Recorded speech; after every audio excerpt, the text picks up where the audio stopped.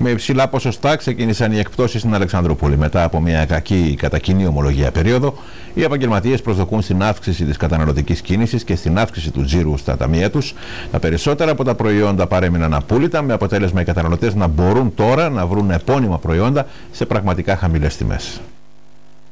Η φετινή καλοκαιρινή περίοδος των επίσημων εκτόσεων ξεκινά σήμερα και η αγορά της Αλεξανδρούπολης προσκαλεί τους καταναλωτές ίσως τις μεγαλύτερες θερινές εκτόσει των τελευταίων ετών με πολλές ευκαιρίες και εκπλήξεις για όλους τους καταναλωτές που για τις επόμενες 6 εβδομάδες θα μπορούν να αγοράσουν περισσότερα, ποιοτικότερα και επώνυμα είδη με πολύ λιγότερα χρήματα. Οι επαγγελματίες προσδοκούν στη βελτίωση της κίνησης στην αγορά και πάντα ελπίζουν στη βοήθεια του καταναλωτικού κοινού την περίοδο των επίσημων εκτόσεων, το οποίο καλείται να εκμεταλλευτεί την ευκαιρία των μεγάλων ποσοστών των εκτόσεων, να χαρεί τις αγορές τους στα καταστήματα της επιλογής του που διαθέτουν ποικιλία, επάρκεια, ποιότητα και βέβαια φθηνές τιμές. Οι επαγγελματίες της πόλης από τις εκτόσεις περιμένουν βασικά να σωθούν διότι η κατάσταση που περάσαμε όλο που και που περνάμε αυτό τον καιρό ήταν μια κατάσταση συνεχών εκπτώσεων. Τώρα λοιπόν στο αποκορύφωμα πια ε, τις 45 ημερών που θα διαρκέσουν οι εκτόσεις από τώρα μέχρι τέλος Αυγούστου έχουμε να αποθέσει όλες μας τις ελπίδες. Γι' αυτό θα δείτε πολύ μεγάλες εκτόσεις και προσφορές στα μαγαζιά.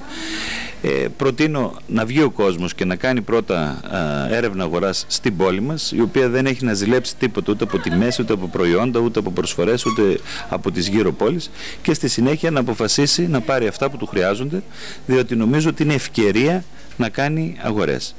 Ε, είμαστε έτοιμοι, ε, περιμένουμε τους καταναλωτές, οι καταστηματάρχες τα ποσοστά θα το λέει ο καθένας απ' έξω που θα κοιμαθούν, νομίζω ότι θα είναι πολύ υψηλά για να μπορέσουμε και εμείς να προχωρήσουμε στο επόμενο βήμα, αλλά και οι καταναλωτές να επωφεληθούν από αυτές τις εκτόσεις.